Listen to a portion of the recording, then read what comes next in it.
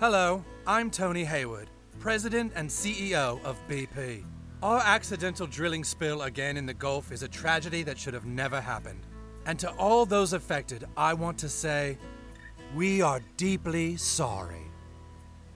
We're sorry. We're sorry.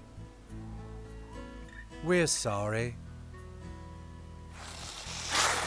Sorry. We're sorry. We're sorry.